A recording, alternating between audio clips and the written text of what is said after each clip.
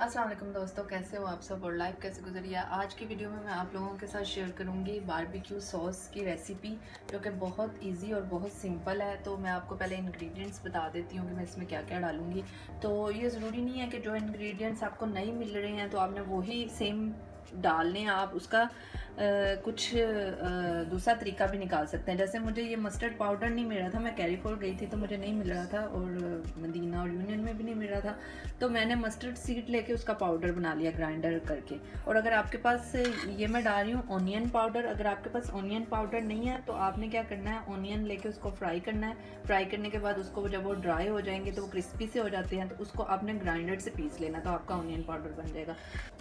तो इसके लिए जो इंग्रेडिएंट्स हमें चाहिए होंगे वो है वन टीस्पून बटर और one tablespoon sugar brown sugar या वाइट शुगर जो भी आपके पास है, आप वो ऐड कर सकते हैं। सॉल्ट अपने टेस्ट के हिसाब से और वन टेबल स्पून या टी स्पून आप अपना क्योंकि कुछ लोग चिली ज़्यादा खाते हैं और कुछ कम तो आप अपने टेस्ट के हिसाब से मैंने ये वन टेबल स्पून चिली ली है चिली पाउडर और one teaspoon onion powder one teaspoon ये सॉरी मस्टर्ड पाउडर और वन टीस्पून गार्लिक पाउडर तो मैंने three fourth cup homemade ketchup लिया, आप बाज़ार के भी यूज़ कर सकते हैं, और टू थ्री कप ये वाली केचप ली है मैंने चिली सॉस ली है चिली सॉस और इसमें ये वाली सॉस जाएगी। अगर आपके पास ये सॉस नहीं है, आप सोया सॉस भी ऐड कर सकते हैं। लेकिन अगर आप ये वाली सॉस ऐड करेंगे तो आपने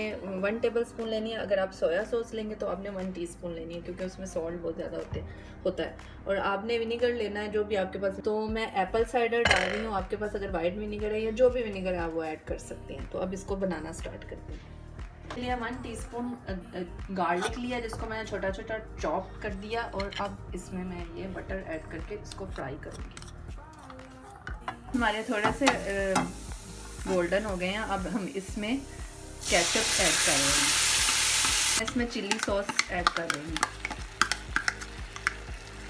अगर आपके पास चिली सॉस नहीं है, आप इसको स्किप भी कर सकते हो। आप सिर्फ़ इसको केचप से भी बना सकते हैं, लेकिन ये ज़रा जितने इंग्रेडिएंट्स डालेंगे तो उतना मज़े का भी टेस्ट आएगा इसका।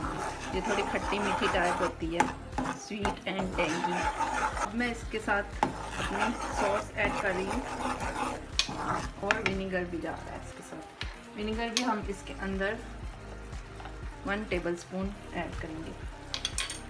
ये जो मैंने इंग्रेडिएंट्स बताए थे, वो सारे ऐड कर रही हूँ। मैं इसके अंदर पानी ऐड कर रही हूँ ताकि सारे मसाले हमारे जो हैं वो अच्छी तरह पक जाए। आपने इसको चेक ज़रूर कर लेना। अगर आपको कुछ मसाले अपने इंग्रेडिएंट्स कम लगें तो आप और भी ऐड कर सकते हैं। तो गर्ल्स हमारी जो बारबेक्यू सॉस है, वो रेडी हो गई है और इसकी इतनी अच्छी खुशबू आ रही है। बिल्कुल जैसे बारबेक्यू की इंग्रेडिएंट्स की होती है, उसकी ऐसी खुशबू आ रही है। तो ये बड़ी मज़े की बनती है। तो आप लोग इसको ज़रूर ट्राई करें और आप इसको सर्व कर सकती हैं सैंडविच में भी आप इसे ऐड कर सकती हैं। आप इसको तंदूरी, जो हम पास्ता बनाते हैं, उसमें भी डाल सकती हैं। बहुत सारी चीज़ों में ऐड होती है, तंदूरी चिकन के साथ आप इसे सर्व कर सकती हैं। तो आप इसको एक वीक के लिए स्टोर करके फ्रिज में भी रख सकती हैं। तो आप ये रेसिपी ट्राई करें और अगर आपको अच्छी लगती है तो मुझे ज़रूर बताएँ और दुआ में याद रखें। टेक केयर बाय बाय अल्लाह हाफिज़।